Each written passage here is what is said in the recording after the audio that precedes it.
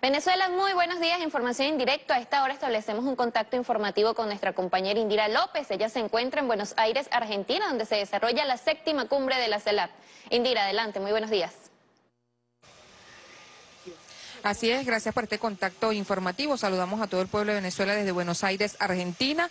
Cuando hoy se inicia la séptima cumbre de jefes y jefas de estados de la Comunidad de Estados Latinoamericanos y Caribeños CELAC, con la participación de las 33 eh, delegaciones que conforman este importante bloque de la geopolítica continental y desde Venezolana Televisión estaremos dando cobertura a toda la agenda de trabajo. Está presente la República Bolivariana de Venezuela con las banderas de la integración de la diplomacia bolivariana de paz que lidera el presidente constitucional Nicolás Maduro Moros y que hoy está representada por nuestro canciller Iván Gil Pinto. De esta agenda le contamos que han sido recibidos por el presidente de la República Argentina y presidente pro tempore de la CELAC, el presidente Luis Arce de Bolivia, la presidenta de Honduras, Xiomara Zelaya de Castro, así como una serie de mandatarios que han estado presentes ya. Vamos a escuchar lo que ha sido entonces esta bienvenida que le está dando el presidente eh, Alberto Fernández a los integrantes de la CELAC. Otros miembros de los países caribeños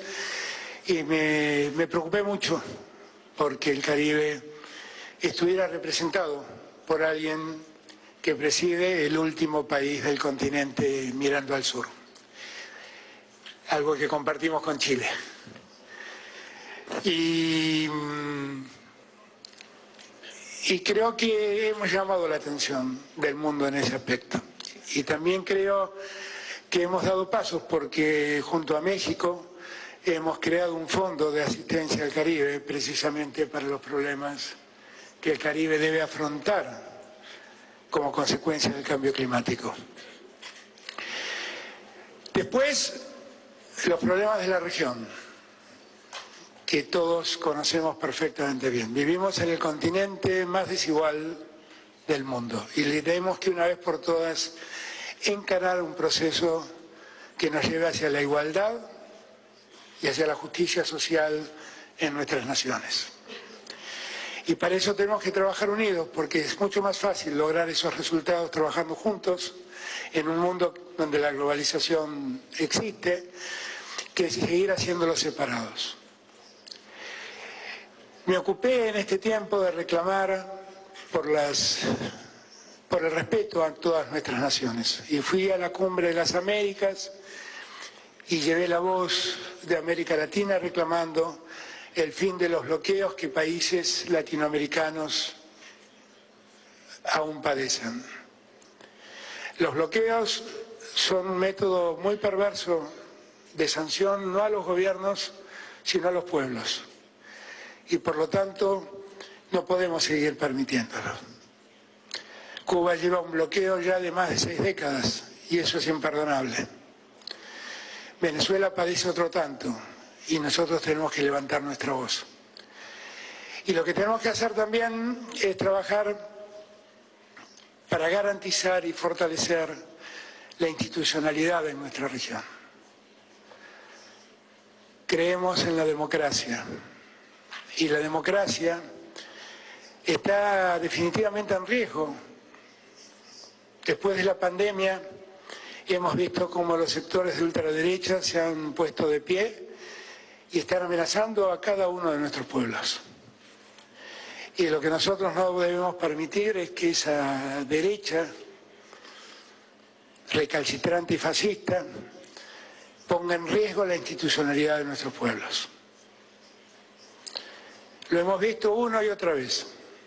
Lo vimos primero con el golpe, con el golpe que vivió Bolivia, que gracias a Dios solo duró un año y Lucho Arce pudo volver elegido por su pueblo a la presidencia de la Nación. Lo vimos hace pocos días cuando la locura invadió las calles de Brasilia, a poco, a una semana de haber asumido el presidente Lula. Y lo padecemos en nuestros pueblos sistemáticamente, aquí en Argentina también, cuando alguien intentó matar a nuestra vicepresidenta. Y nosotros eso no lo debemos permitir. No lo debemos permitir.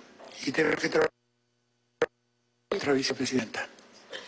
Y nosotros eso no lo debemos permitir.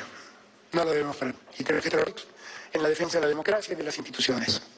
Es algo que a América Latina se debe y es algo que América Latina no puede soslayar. Creo que se nos abre una nueva oportunidad. Volvió la CELAC, ahora estamos en una CELAC completa con Brasil y la oportunidad de unir a la región es un imperativo que, que se nos impone sobre nosotros y tenemos que lograrla. El mundo que se nos impone sobre nosotros y tenemos que lograrla. El mundo, después de la pandemia, la globalización no funciona tal como funcionaba. La globalización también en evidencia las carencias del sistema económico. Cuando uno advierte que la humanidad, uno se da cuenta de la injusticia de este mundo. En pandemia pudimos ver cómo se distribuyeron las vacunas y cuando vimos que el 90% de las vacunas era destinada al 10% de, los países centrales, a los países centrales que representan el 10% de la humanidad, ahí también nos dimos cuenta de lo injusto que era el mundo. Ahora, tenemos todas las posibilidades de crecer juntos. Tenemos todas las posibilidades de desarrollarnos unidos. Lo único que tenemos que hacer es profundizar nuestro diálogo, respetarnos en la diversidad. Todos los que están aquí han sido elegidos por sus pueblos y sus pueblos los, los legitiman como gobernantes. Y por lo tanto, más allá de cómo cada pueblo decida, en la diversidad debemos respetarnos y en la diversidad debemos crecer juntos. Creo que tenemos una gran oportunidad por delante.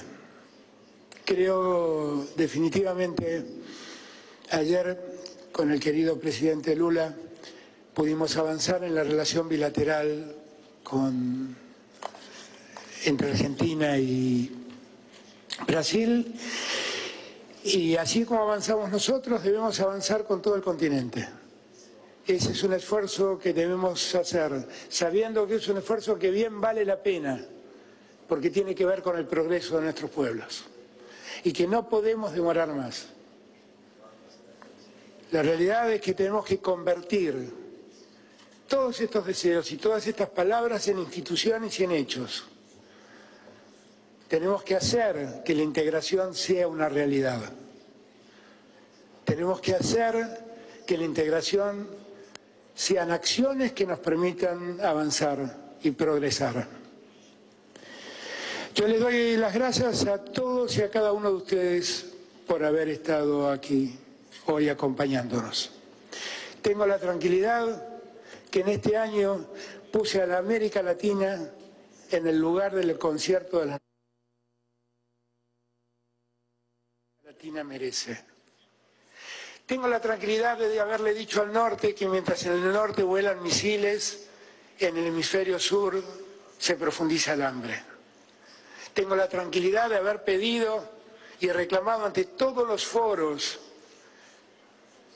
que la guerra se termine y que deje de condenar al hambre a la América Latina.